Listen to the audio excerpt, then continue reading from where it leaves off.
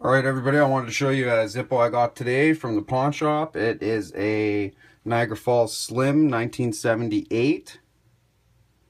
Uh, you can see on the bottom there, sorry, it's upside down. You can see on the bottom there, see the two slashes slanted to the right on each side? There's two there, and then there's two on this side. Right there, and right there.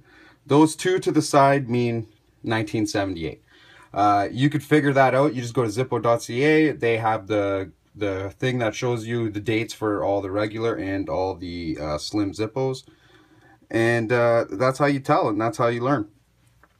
Uh, and uh, what a lot of people don't know is they'll see these Zippos and they won't see it saying Bradford anywhere. And they'll naturally assume, like, say this, say it didn't say Petro Canada on the front, right?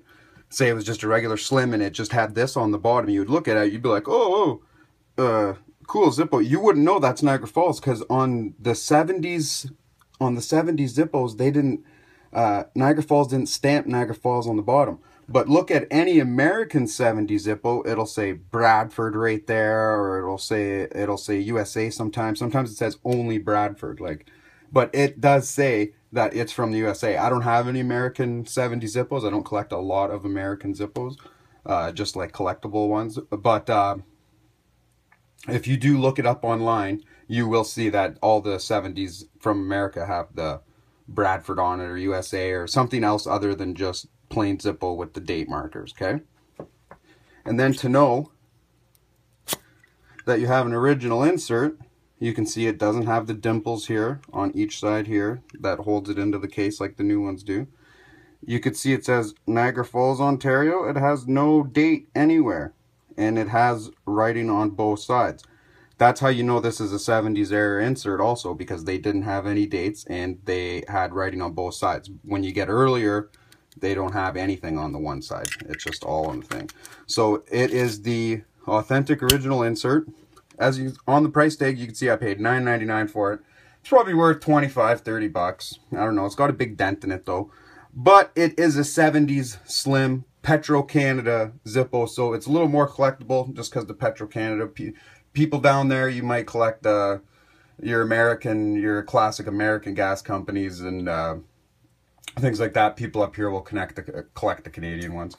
But yeah, so that's it, and that's the 70 Slim. Uh, this is the first 70 Slim Niagara Falls I actually got, and it's got the matching insert. I'm actually very happy about the Zippo, pretty impressed. Uh, it was a great deal. You never know what you find your pawn shops. And a lot of the time, too, a lot of people ask me, oh, well, uh, where do you get most of your, where do you find all these Zippos all the time? And because I always have these collectible Zippos. And I, my main three things is I go to the pawn shops, I go to antique stores, and talk to old guys. Make friends with old guys. Like I'm telling you, you see an old guy in an antique store, uh, shoot him a chat. Tell him you're looking for Zippos.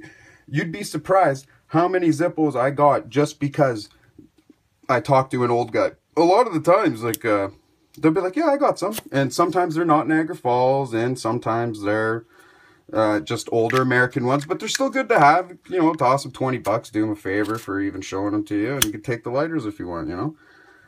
All, all, the old guys all have these, and back in the day, these were really cheap. Uh, the, would you would you buy a refillable Bic and try to keep it for 30 years? No, you, uh, no, you wouldn't. You'd throw it out and get another one. And a lot of them did that too. So uh, a lot of these old guys have drawers of these. They have like six or 10 in there. And some of them are missing lids or whatever. Big deal. Send it to Zippo. They'll fix it for you and send it back. All in original pieces. That's what I did with a couple of my Zippos. Uh, this one right here was missing the lid. As you can see, it's got a new lid, but an old body. But still collectible. Yeah, it's Niagara Falls, uh, 19 something, 97 or something. But anyway, so that's my cool uh, Niagara Falls Slim, and that's how to tell if you got a Niagara Falls 70 Zippo, is it won't have anything on the bottom. Because if you picked one of these up and the insert was an old American one, you'd think, oh, this is American Zippo. No, it's not. It doesn't say Bradford on it. That's how you know it's Niagara Falls. Okay, guys, I hope you enjoyed that. And I got another Zippo too, uh, 1998 uh, Iron Workers of Ontario uh, Zippo, Niagara Falls. So uh, check that vid out. It'll be coming in a week or so. And uh, take care, everyone. If you got any questions, just ask.